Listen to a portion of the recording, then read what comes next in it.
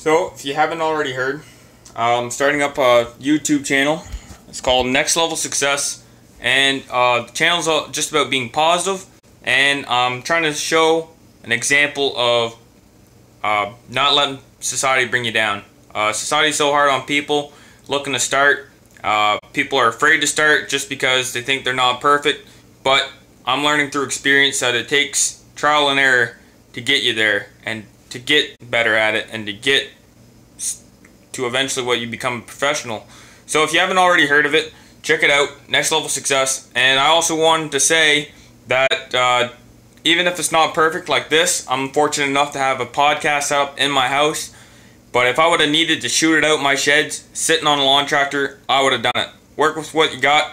Don't be afraid to do so. And with time, people will see you evolve. Don't be afraid of the haters. Just work with what you got. Like I